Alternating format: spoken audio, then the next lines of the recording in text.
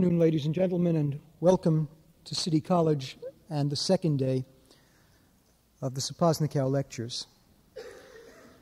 It is the second day, and surely our speaker, Max Frisch, hardly needs an introduction today. In fact, those of you who heard his lecture on Monday have received a finer introduction to the man and his books than anything I could put together for you. In an absorbing meditation on his art, what Mr. Frisch did yesterday was to describe his relationship to his work. He confessed to having neither a theory of writing, nor a recipe for it, nor a system. He confessed that when he became a writer, it was not because he needed a job, but rather because writing provided him with a self defense against this experience of his powerlessness. It was a kind of therapy in the years following World War II. For Max Frisch, fiction remains indispensable. The truth, he says, cannot be described, only invented. Fiction, in other words, in his words, unmasks our experience of reality. Max Frisch writes, he tells us, because what interests him is the confrontation with language. When he begins writing, his head is filled with chaos. And in the writing, in the battle with language, he searches for his experience. His struggle, he tells us, is a struggle to overcome chaos, a struggle to communicate, a struggle to write with imagination. In this, his second lecture, Mr. Frisch turns to consider the position of the writer vis a vis society. Does the writer have a social or political responsibility? And if so, what is it? As on Monday, Mr. Frisch will be assisted by Professor Roger Boxill, who will read quoted passages for us. Ladies and gentlemen, I give you Max Frisch on the writer and his partners, the function of literature in society.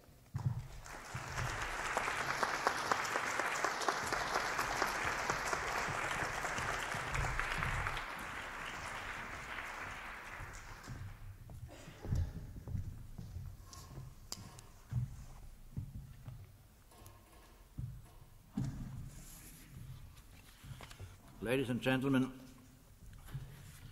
in the first lecture, I tried to name the impulses which lead to the production of literature.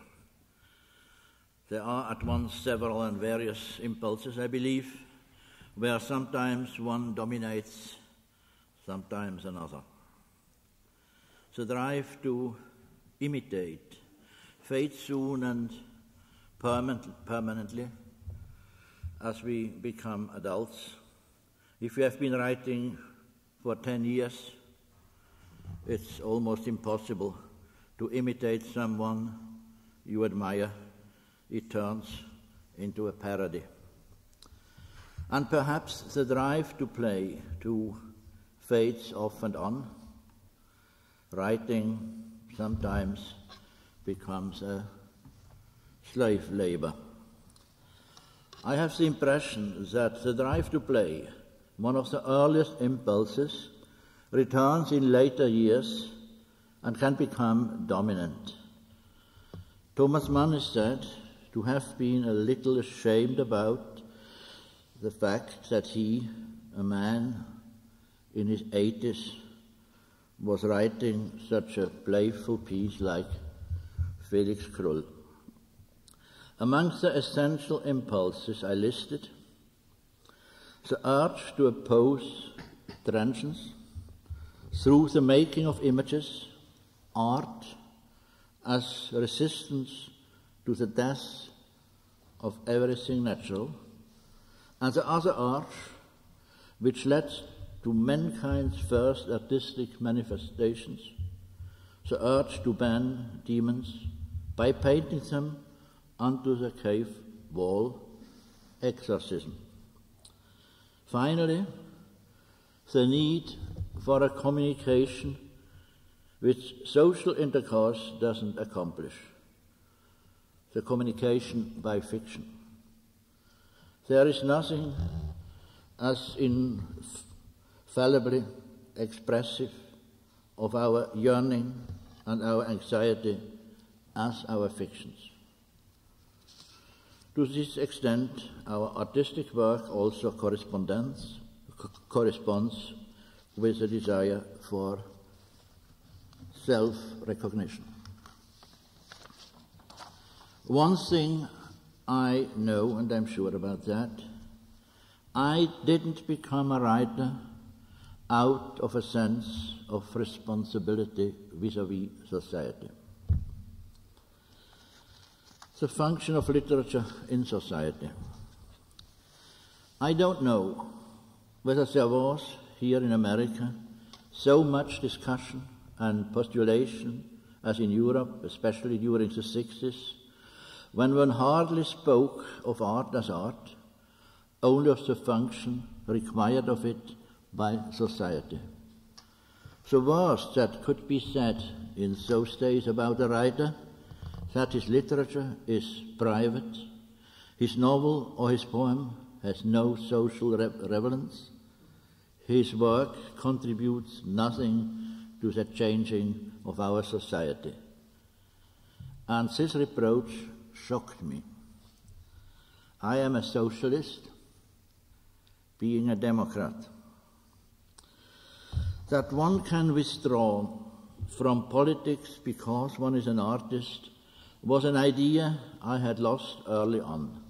Perhaps that was Wilhelm Furtwängler's idea in Nuremberg when the race laws were being implemented and he conducted Beethoven's Eroica.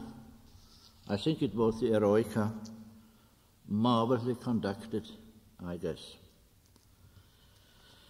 Speaking in general, anyone who wants nothing to do with politics has already made his political contribution.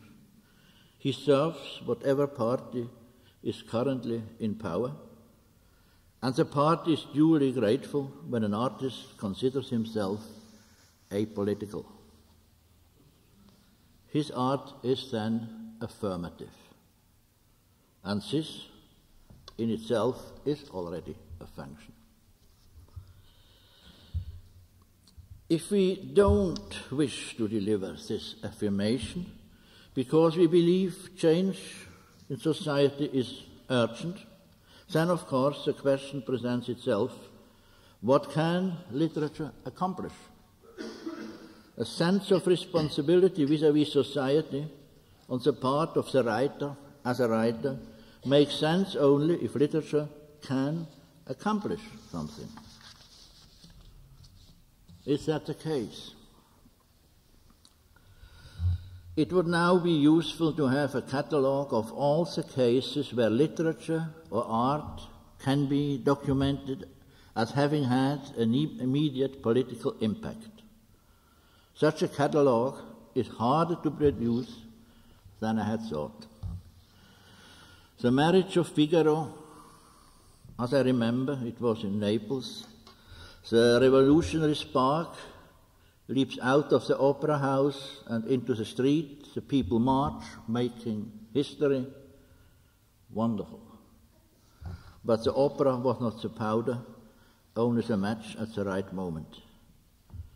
What other examples can you think of? Uncle Tom's Cabin. And what else? I don't think we need this catalogue. Why did I never ask Brecht? Do you seriously believe your play, Mother Courage, will cause a single government to refrain from war? Next time a war seems the one and only means to hang on to the privileges of power by the mighty in the land, whom no one could stand if it weren't out of patriotism? Perhaps Brecht would even have answered me. Not solemnly, a bit impatient, and, as far as it is possible, without removing the cigar from his mouth, grinning a bit, irritated about my naivete. My play is written for the soldiers. so that little by little they know what it is for which generation after generation they have let themselves be slaughtered and have slaughtered others. Did his play reach the soldiers? Brecht became a classic. The last time I saw the play on stage in the Piccolo Teatro della Città di Milano, a compelling production by George Strehler, Milan's high society was sitting in the theater.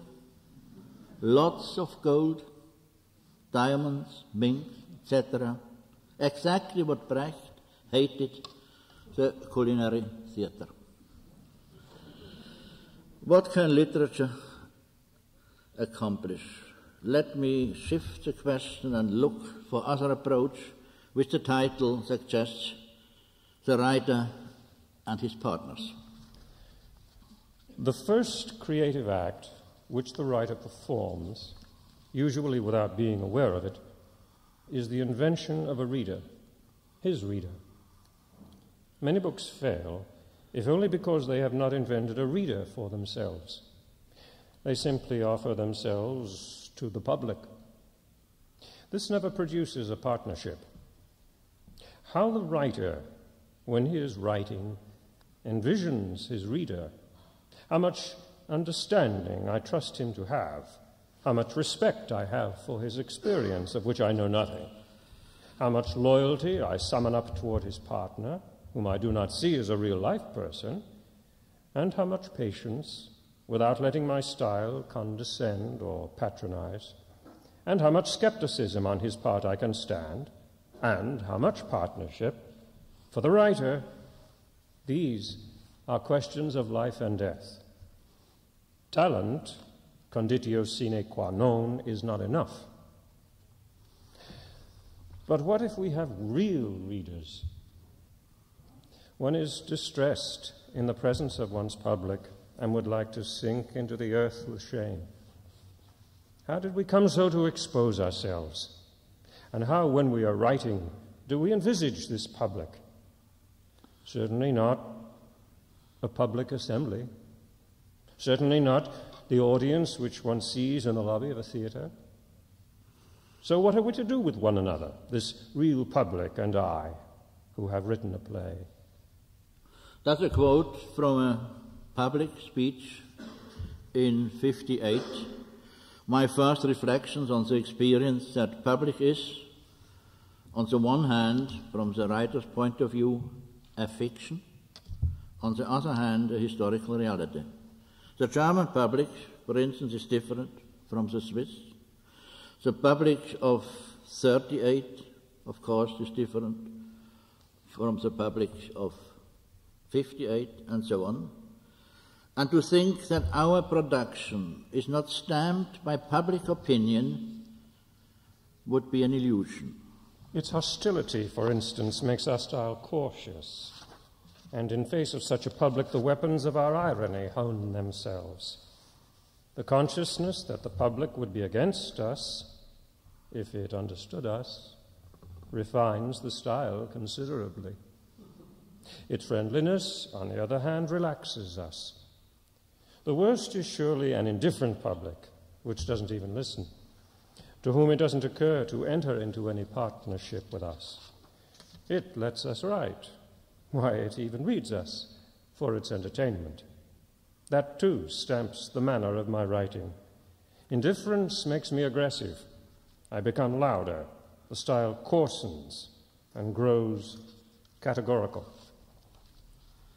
One would think that a writer if he lives a long time, grows accustomed to the public. Is that true? I ask myself, what has changed over decades? Well, one becomes, I guess, less vulnerable. And one takes praise less seriously. I don't say that they don't need it at all. Above all, there actually does develop a consciousness of responsibility, which, as I said, I didn't have when I began to write. And writing gets therefore no easier. the public as our partner. And now, what does this partner expect from us? Discussion with students from both universities. I soon realized that students, like anyone else, want a play to provide solutions. The need for a guiding hand comes out again and again. And what if one were to provide it? Such as, for example, go out and give all your possessions, forget your rights, do as St. Francis did. What would happen? Nothing. What would have been gained? One would know the author is obviously a Christian. Good for him, maybe, but purely his own concern, as indeed it is. The solution is always our concern, my concern, your concern. Henrik Ibsen once said, I am here to ask questions, not to answer them. As a playwright, I should consider I had done my duty if a play of mine succeeded in putting a question in such a way that from then on the members of the audience were unable to live without an answer. But it must be their answer, their own, which they can provide only in the framework of their own lives. We are still with the question what can literature accomplish? And once more, I sidestep the question Literature and Social Consciousness is the title of our symposium tomorrow. We call it Politisches Bewusstsein. And what is that? End of April, military coup in Greece to prevent democratic elections. Young King Constantine, hauled out of bed to approve the rebellion with his signature, is reported to have hesitated until the German born Queen Mother talked him into it. Papandreou and other politicians arrested, deportations, suspension of the Constitution on grounds of a communist threat. It has all happened before. Military junta to preserve law and order, democratically elected parties banned in the name of the fatherland. The people rush to Piraeus, their hopes on the American Sixth Fleet in the Mediterranean anchored within sight but no military intervention in the internal affairs of a country with American investments. Our Neue Zürcher Zeitung, also not intervening in the internal affairs of a country with Swiss investments, points out that the impending elections might really have resulted in a majority for the socialist parties. One must try to understand the army officers too. Result? A fascist dictatorship inside NATO. Photographs of Greeks standing helpless before NATO tanks, flying the Greek flag. That, of course, is not literature. That's only a writer's journal which shows how he, as a citizen, reacts on an event. And it is the expression of his political impotence as a writer. What can we do? Well, you know, Sometimes we sign petitions.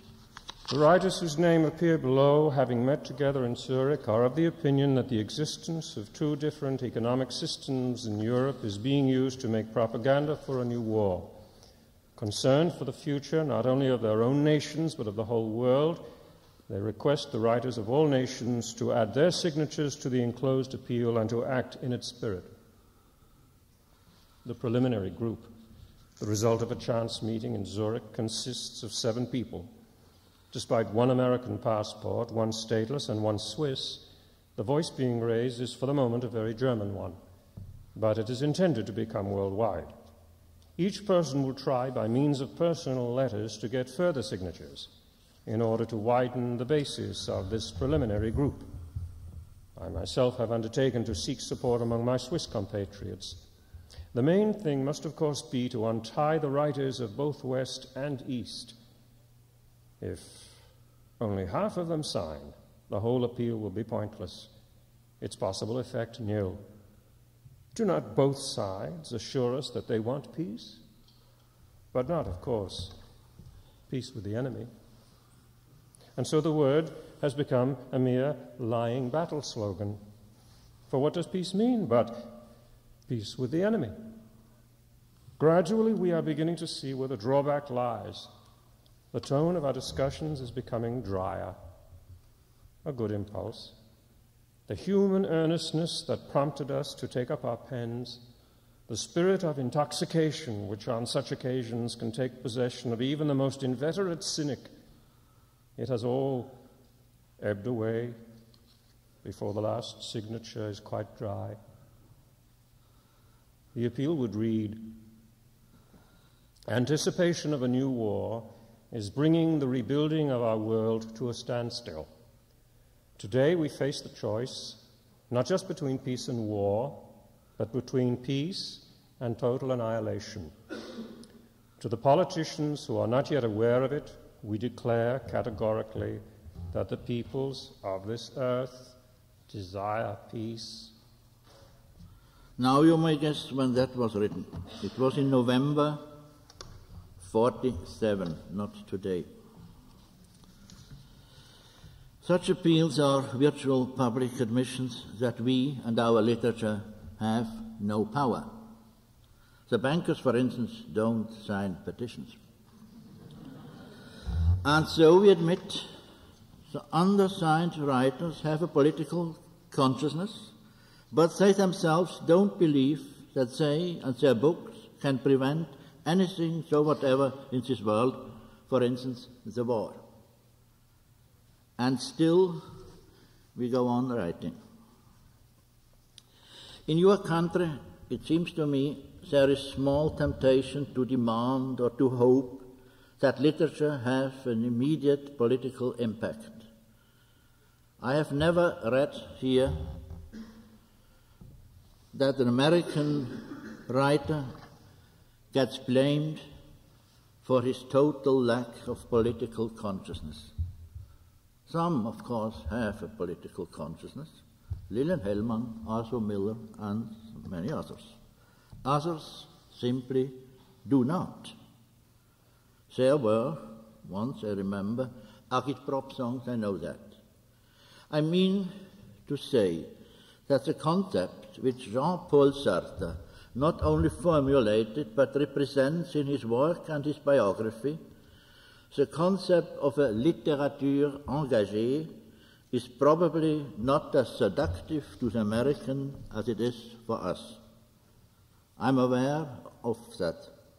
But I speak as a European writer, a Swiss stamped by the European tradition.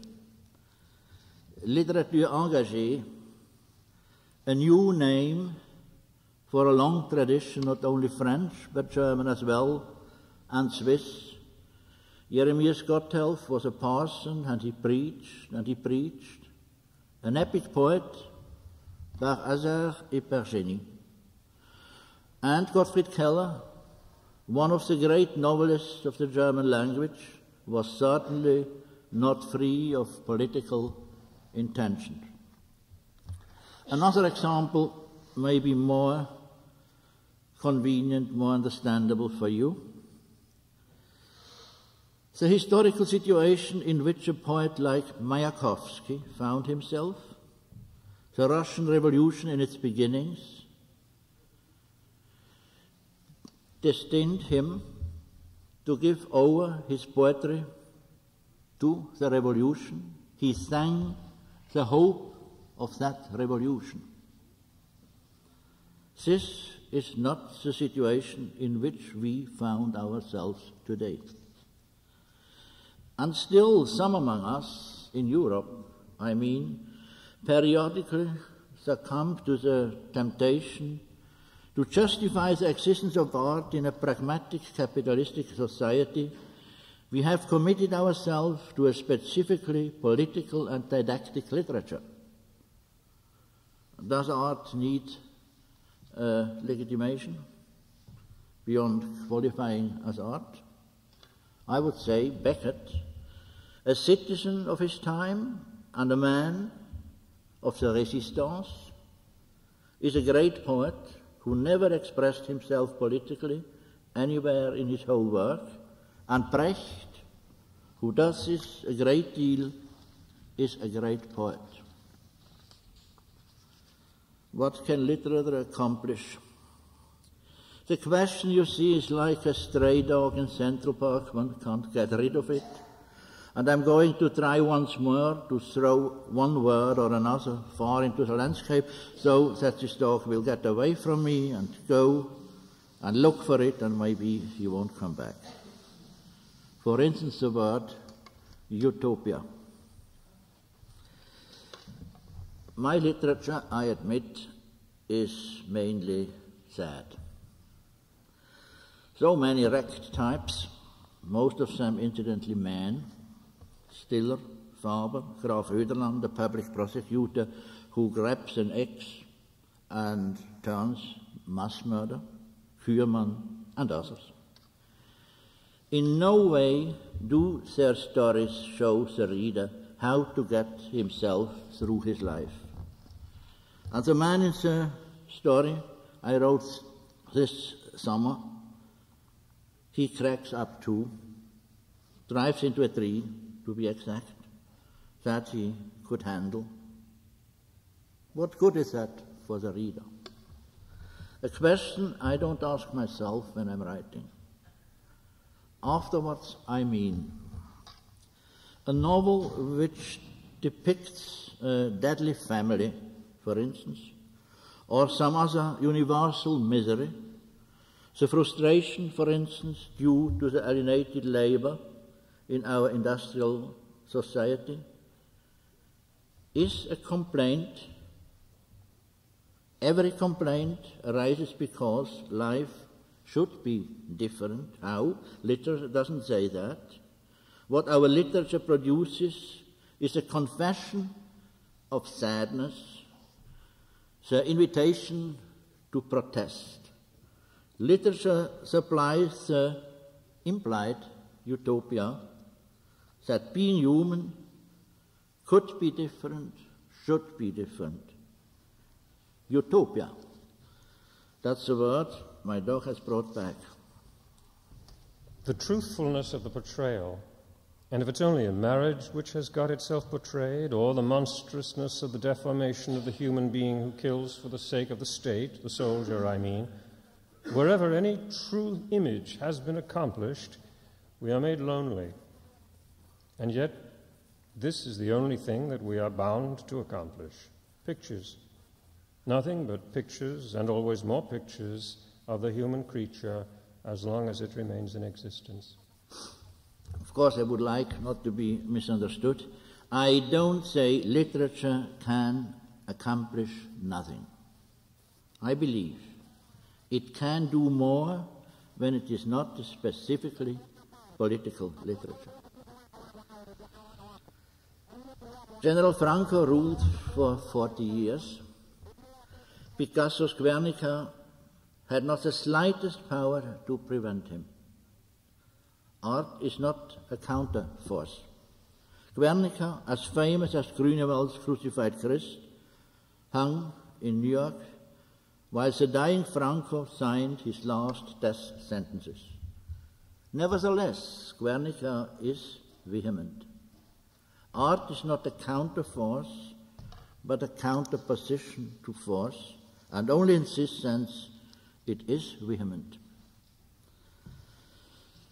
That, in contrast to earlier years, I now believe specifically political literature to be a misunderstanding, a misuse of literature in the service of my political commitment, sounds like resignation. I know that. Is it resignation? I need only read read the paper and I see, blow by blow, how the political enlightenment which such a literature tries to achieve in all countries affects nothing. In certain countries, its achievement is to have itself forbidden. And where it is not forbidden, because it doesn't affect anything, the same old lies are still in power. And there is something else as well. My suspicion grows that the inherited political vocabulary does not even approach the political problem of today, that it is burned out. It talks past the new realities. And this is true not only for the Marxist vocabulary. Today, the vocabulary of capitalist liberalism, freedom as sacred right to exploit manpower through capital, serves only someone who is running for president. It doesn't suffice for the analysis of social conflicts which can't be resolved by mobilizing. What is a writer to do with such a language? Go, follow after your phrases to the point where they are made flesh. Look about you. This is what you have said.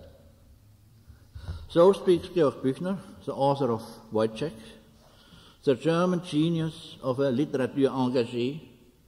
His watchword, Friede den Hütten, Krieg den Palästen, peace to the cottage, war to the palace, so that he had to flee his country.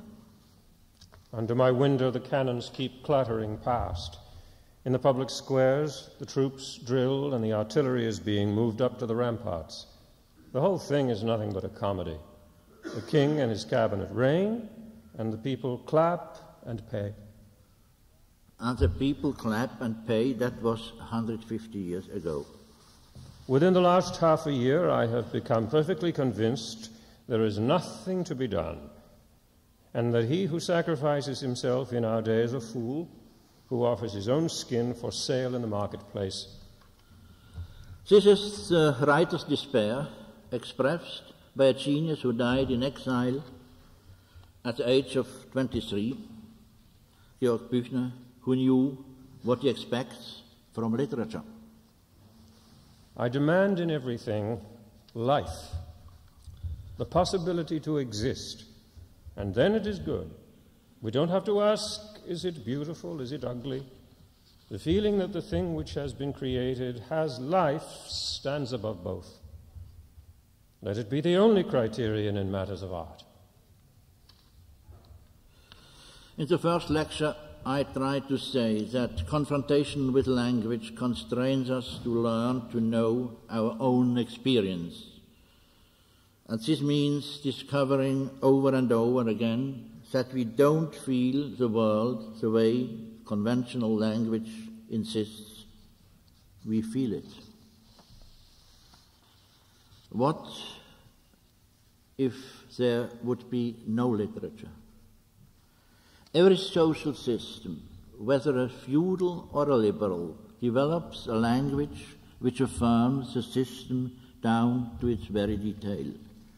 The language of the ruling class spoken not only by the rulers, our everyday language, which we learn as children and use our life long without knowing that it fills us with prejudices, with stock turns of phrase. A poor but honest man. Perhaps a man is in this society poor because he is honest. So why don't we say a rich but an honest man? One doesn't say that. This language, which consists of the sum of stock phrase and cliché, stamped with the interest of the ruling class, this language, which we learn in school as the only correct language, doesn't have to be the language of our experience, and so it alienates us from our experience. There are many who don't feel what this language insists that they feel, what one says. But since there are many who are unable to say what they feel, they feel themselves duty bound to experience the way the ruling language prescribes to the silent majority. How one feels. The ruling language has a tendency to put us under tutelage, to make us Daxel. It castrates us politically day in and day out.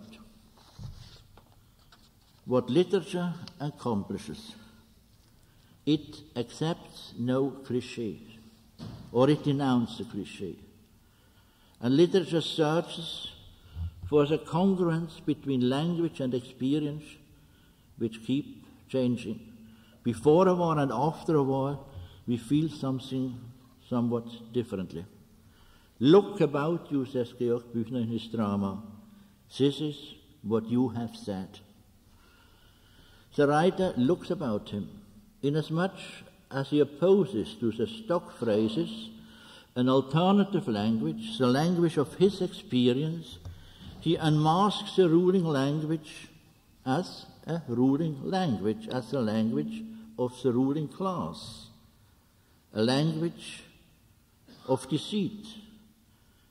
And it is in this that I see the political re- relevance of literature, of all literature, even when a novel or a poem doesn't concern itself directly with a social problem. The function of literature in society, or why do I read literature? There are many answers, of course. One of them, it may happen that its language frees me. It frees me to doubt whether I know how I actually experience this or that. It deprives me of my stock phrases in my intercourse with myself.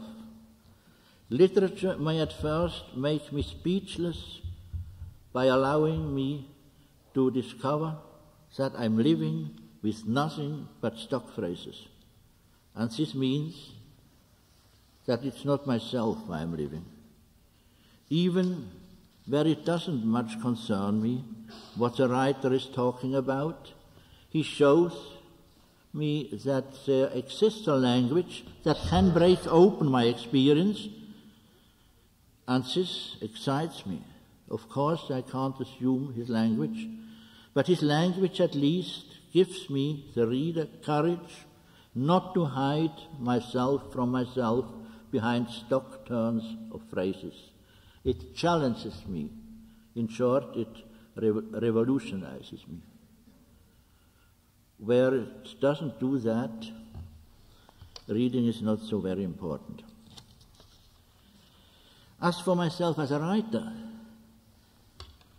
I do not experience it as a resignation when, in my recent books, for the last ten years or so, I treat none of the themes which occupy me politically, in political speeches, in political articles, but tells a story, for instance, of a man who is afraid he is turning into a newt and wants to know what happens when the Arctic ice melts.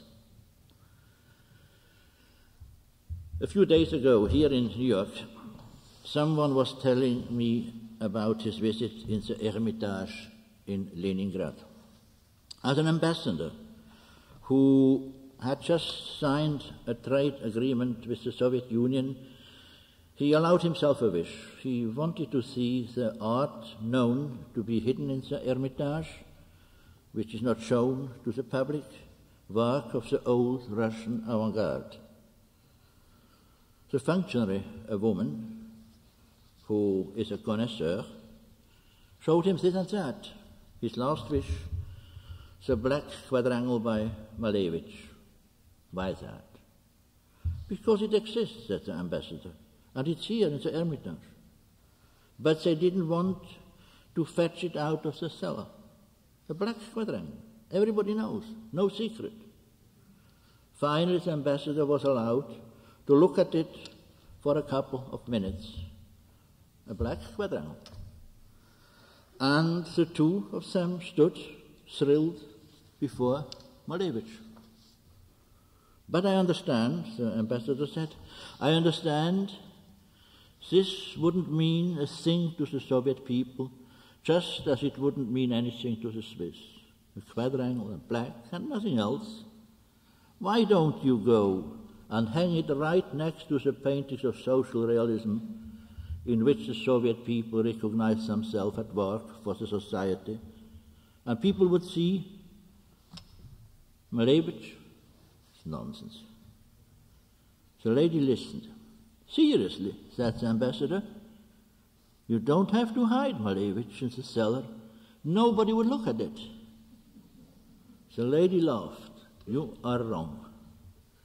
People won't understand the point of a black quadrangle, but they would see that there is something else existing besides the society and the state. That something else exists. That is the irritant. Art as a counterposition to power. And now we have a little problem of translation. Literature in German is Literatur. Poetry in German is Poesie. So far, so good. But poesy means in our language something further. We use it not only to designate a species, novel, drama, poetry.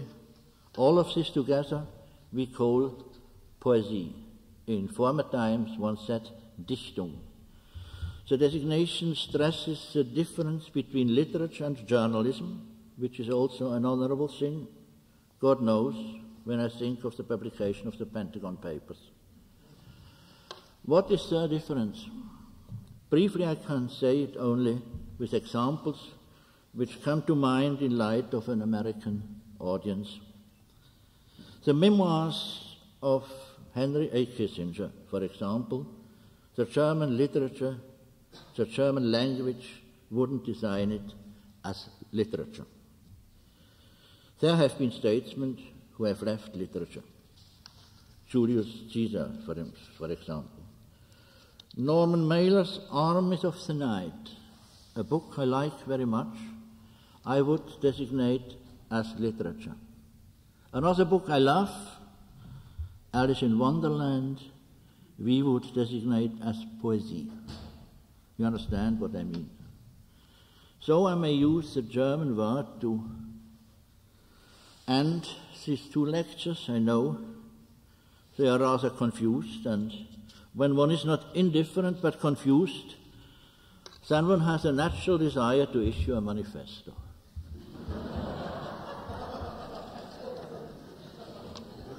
Let me try to do that first in German.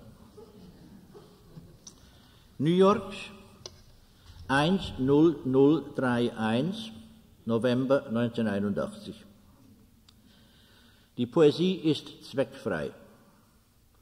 Schon das macht sie zur Irritation. Die Poesie muss kein Kabinett bilden zum Beispiel und muss nicht von einer analphabetischen Mehrheit gewählt werden.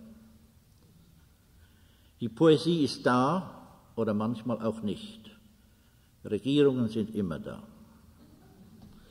Die Poesie kann ignoriert werden, ohne dass die Polizei deswegen eingreift. Die Poesie entsteht trotzdem da und dort. Die Poesie ist der Durchbruch zur genuinen Erfahrung unserer menschlichen Existenz in ihrer geschichtlichen Bedingtheit. Sie befreit uns zur Spontanität, was beides sein kann, Glück oder Schrecken. Regierungen wollen immer nur unser Glück. Die Poesie macht uns betroffen, lebendig. Die Poesie unterwandert unser ideologisiertes Bewusstsein und insofern ist sie subversiv in jedem gesellschaftlichen System. Platon hat natürlich recht, der Poet ist als Staatsbürger dubios, auch wenn er seine Steuern zahlt, auch wenn er als Soldat gehorcht, damit er nicht von seinen eigenen Leuten erschossen wird. Solange er aber nicht erschossen ist, bleibt er ein Poet. Die Poesie muss keine Maßnahmen ergreifen. Sie muss nur Poesie sein. Die Poesie findet sich nicht ab im Gegensatz zur Politik mit dem Machbaren. Sie kann nicht lassen von der Trauer, dass das Menschsein auf dieser Erde nicht anders ist. Die Poesie sagt nicht, wohin mit dem Atommüll. Rezepte sind von ihr nicht zu erwarten. Die Poesie ist arrogant.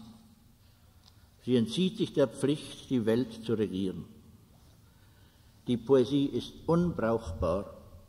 Es genügt ihr, dass sie da ist, als Ausdruck unseres profunden Ungenügens und unserer profunden Sehnsucht. Die Poesie ward die Utopie, Titel des Manifestes, schwarzes Quadrat. New York, 10031, November 1981. Poesy is free of any purpose. This in itself makes it an irritant. Poesy need not form a cabinet, for instance, and need not be elected by the illiterate majority. This in itself makes it an annoyance to the politicians. Poesy exists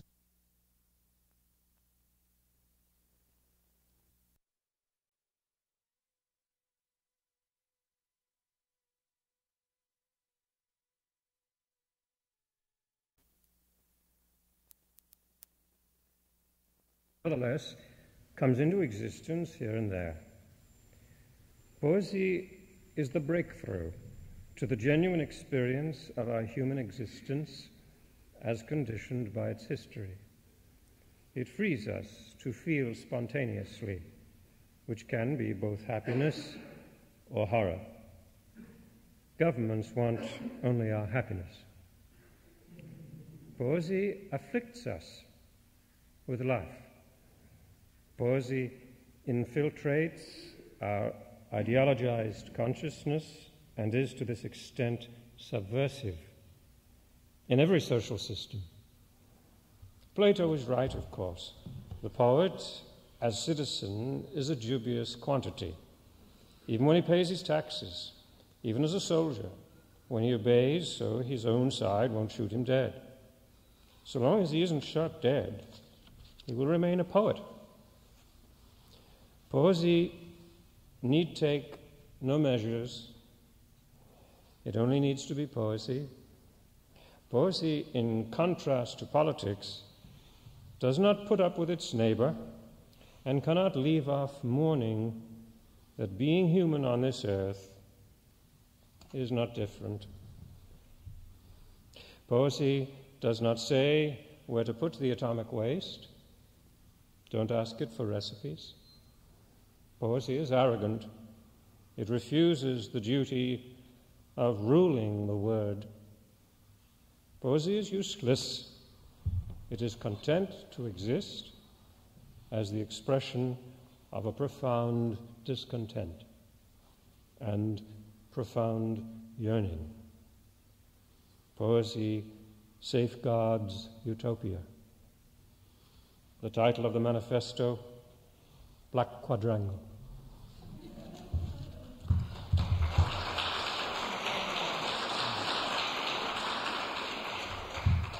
Ladies and gentlemen, the function of literature in society, I believe, is a personal irritant that it exists, nothing more. Every collaboration with power, even with a democratic power, ends in a fatal misunderstanding of art. Its place is not in the foyer of the Chase Manhattan Bank or so, where it turns into an affirmation, an embellishment of power. That means it has sold his transcendence. And art as such is transcendent. As Walter Benjamin said, die Kunst als Statthalter der Utopie. Art as guardian of utopia. Thank you.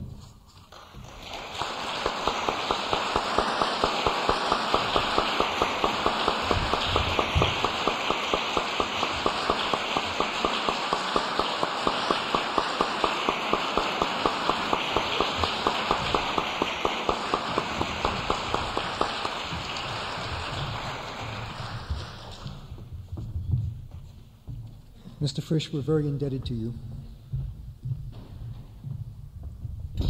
I would just like to take a moment or two before we begin our question and answer period to make an announcement. as part of the 1981 Saposnekow Lectures, there is a special event to which I'm delighted to invite you.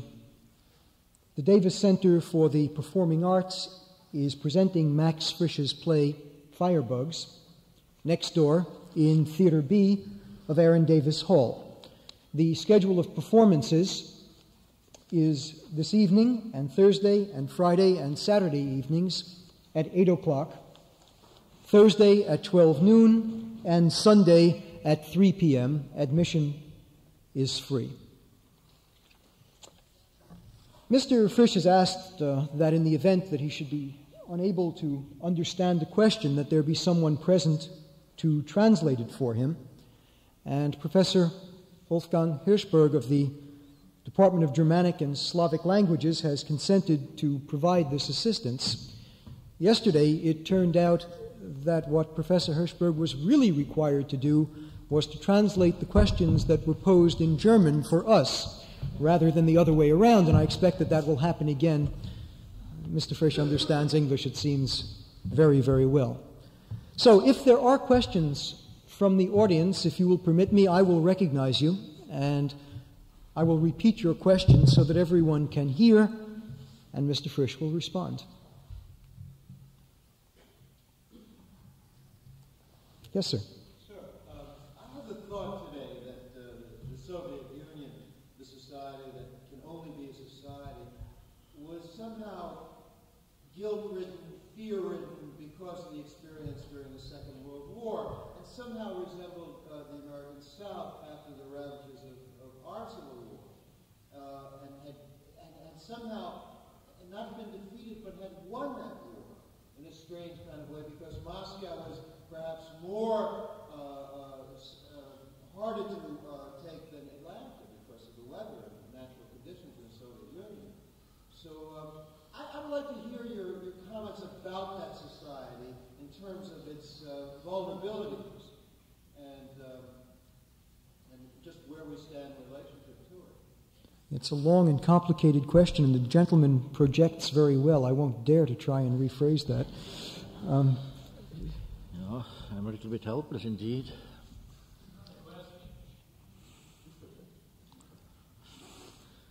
Perhaps it's not a question.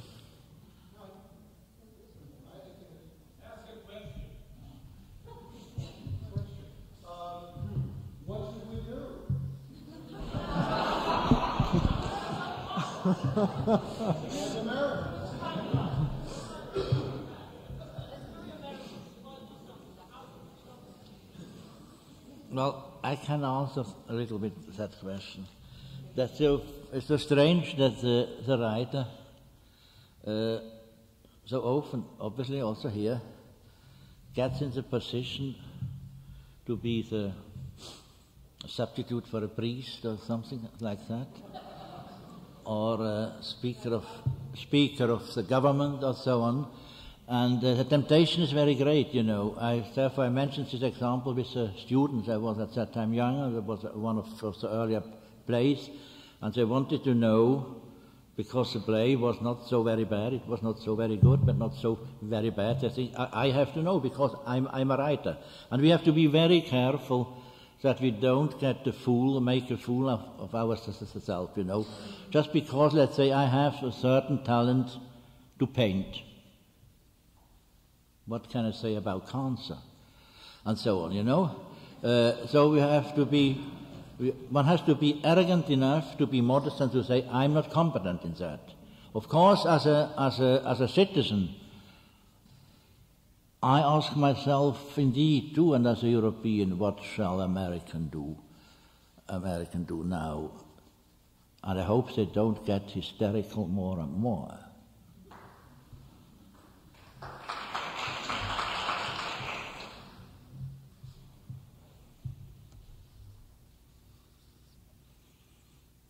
Is there a question? Please, I'm sorry.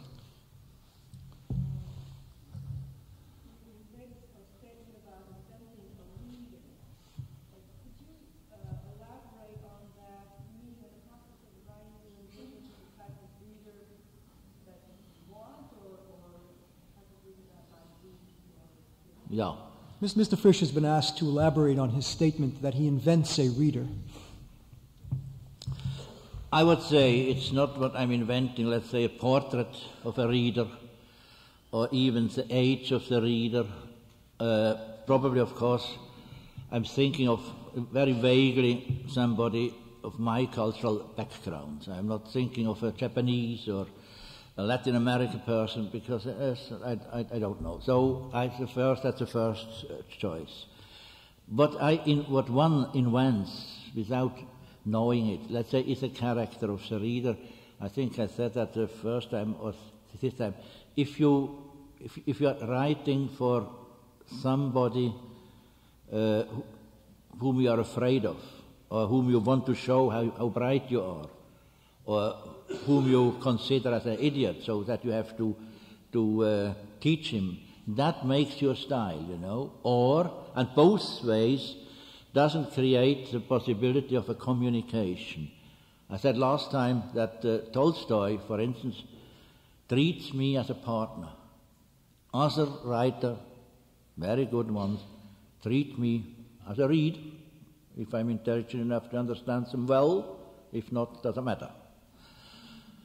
They are not partners, you know. That's the invention. But you shouldn't think that I have a, a special, a special person in mind. But uh, one also could ask: Is it, is it, is it mostly a male reader or a female reader? And I would have to think about that. I think I'm, sometimes I'm thinking of female readers because I know I don't understand them.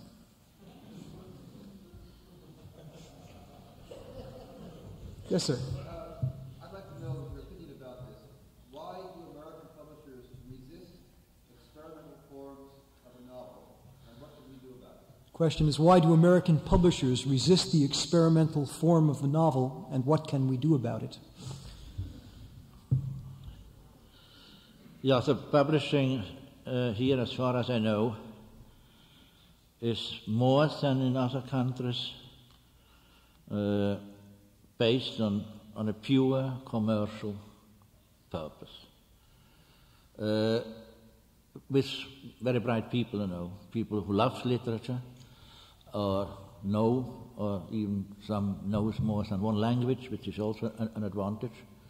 Uh, but it's based on the on the on the economic. So they don't take a risk of something that doesn't give a profit. And unfortunately, it changes more and more in our countries, Europe, in this direction. It has to do that these publishing houses are growing, getting uh, trusts all together, you know. And some years ago, a century ago, these were little publishing houses. Uh, you have it here too, a group that makes it. They do it because they have to make their living, but it's not their purpose to to be to, to be great, and so that's, that they can uh, then buy a restaurant, a restaurant, uh, was it eine Kette, eine Restaurantkette. There are now so many publishing houses are, are do almost everything, uh, and we, are, we just can wait for the moment that they forget that they started with publishing books. so it's very difficult for the American writer here. I think more difficult than for a European writer, France, England, Germany, and so on. Please. Well, sir, I don't know what is my understanding or misunderstanding. Your, your confrontation, what you say, with language and vocabulary. I got the feeling you have a mixed attitude of feeling toward you and your language or, uh, or vocabulary. You love them, love the language, and you also have some feeling pity because you think the vocabulary language constrains you. If it is your instrument to express yourself and communicate with the readers, I want to know to elaborate more about your sentiment toward language and vocabulary. The question asks Mr. Frisch to elaborate on his own confrontation with language. When I started to write, I have to admit I was not so profoundly interested in the language. I wanted to tell a story, I wanted to write a scene, and so on. So it came more and more that the language fascinated me.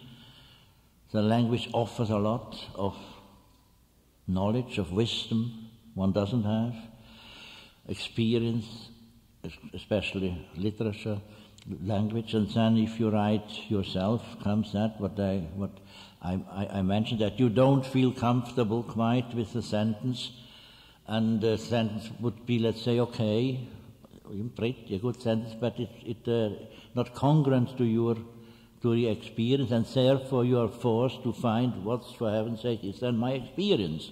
And it mustn't be a perfectly different one, but uh, a, a, nuance. So that is this uh, fascination of language uh, uh as an as a instrument for self-recognition. But on the other hand, the language is also something like an erotic body, a sound. You can, you can love words, just love words. And there are, of, of course, uh, stronger words in, in, each language and, and, and, uh, and weaker words. You don't know exactly where the fascination is uh, coming from, but it is, it's a, it's a kind of object or the rhythm. I, I certainly like books, not because of opinions, but because of a rhythm that frees me also. So that's another, another approach to the language. And of course, it's very interesting uh, to switch then from one language to another. I'm not so talented in doing that, but that you see how in, in the other language the approach to, a, let's say, a simple thing is perfectly different. In one language, the approach is active in the other language to, to the same thing, it's passive. And you may realize actually this passive form is for me much more true than, than the form I have in my own language.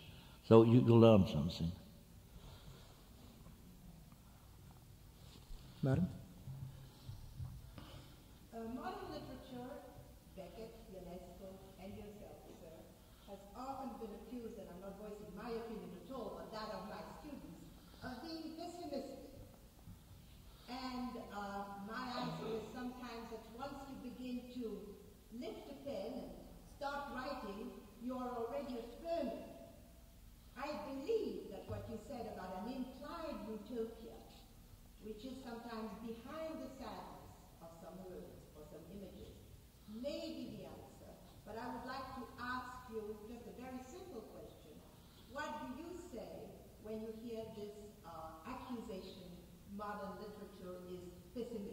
How does one respond to the idea that modern literature is pessimistic? Well, uh, I anyhow hate these two words optimistic, pessimistic. Uh, I can't work with it.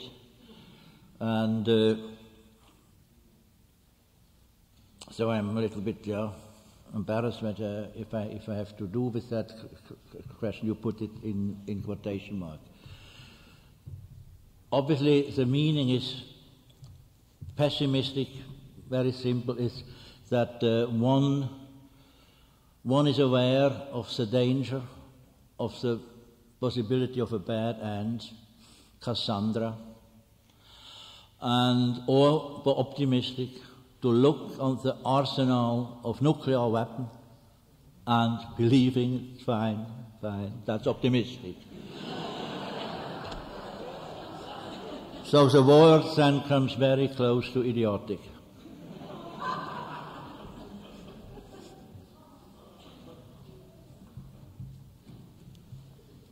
But you're right, of course, it's a, let's say, this last published short novel here, Man in Holocene, is for me not even a sad book, but a man realizes that we have to die. We know that, but then you have to realize it. And he does it without betraying himself, without complaint, also without giving in. He fights as long as he can, but he understands that's the way it has to be, and it is, and it's not a personal fate. It's not even the fate only for, for the human creature. It's the whole, the whole creation is going that way erosion. That's, uh, I think that's uh, courageous of that man to see that. That's what we call mature. Yeah. Dr. Miller.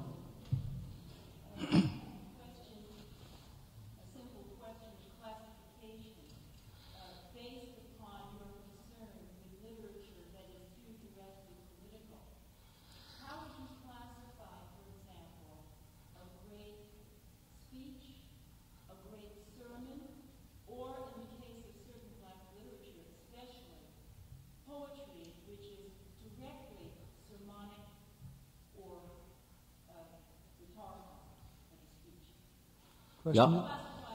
Yeah. Does, does uh, sermon literature, and I take it highly didactic political literature, qualify as poesie? Yeah, of course, it's a. I wouldn't have the courage to make with a pen exactly the line here and here not, you know, the floating. And actually, one should say in this connection, there are, I try to mention that with Mayakovsky, for instance, or with the Agitprop songs you had here of the unions, when the unions got built in this country, that, uh, that uh, the word is an instrument for fight, fighting. Uh, and of course, I wouldn't, I wouldn't uh, deny that is, that is an allowed possibility, or sometimes it is a need. It happens to us in the 60s or so. It was a fashion that, uh, that every line had to, had to deal with these things, and I got skeptical about that. And, uh, and also, if we use the vocabulary, the elaborated uh, political vocabulary, uh, it's so easy to, uh, to step out if you don't agree with my opinion. Let's say if I would produce here a Marxist opinion in Marxist terms, and you are against that, you can step out or use the other, words. If I would convince, try to convince you, then I would be succeeding in uh, telling you a story without all that words, so that you can't defend you with, uh, with, uh, with uh, political words. Maybe I can open more in you or convince you more. That's what I mean. I can tell it, I think it's, uh, of course, I've almost come in with an example of my own because I know them. Uh, I had a, a translator, a French translator, for a, for a sketchbook that got published at the end of the 60s uh, with, with those political notes, as I read about Greek, about, about those things, not, not literature, but uh, diary. He was a militant communist, and uh, since I'm not that, I'm a socialist, Democrat, a socialist, we were not agreeing, but he did it. And then came another book, this Montauk book, uh, and I was wondering, will he translate that, or will he tell me, no, man, that's your private story. No interest. No interest. I don't do that. I was expecting that. And he came and said, uh, he's very eager to do it. It's your first political book. And I said, man, but now, now, now, now, now, now, please come on, explain it. Well, there is a, part, about 20 pages, where I'm telling my memories of, uh, of a very important friendship with a young man, at that time a school, a schoolboy, and uh, he was a gifted man, and that could have been a great thing, this, uh, uh, these two men, and didn't work, and after a while it didn't work. He sponsored me. I was always thankful, grateful, and uh, admired him and everything. And I didn't know over, over, over 30 years why it didn't work. And then I was telling that story. And of course, if somebody who has a political conscience see perfectly the disaster is he is a high also Hochbourgeoisie, high bourgeoisie, and I'm lower middle class. So the, so the, the, the class-specific things we were not aware of were destroying a great human possibility. And that's now a political short story with about one political word.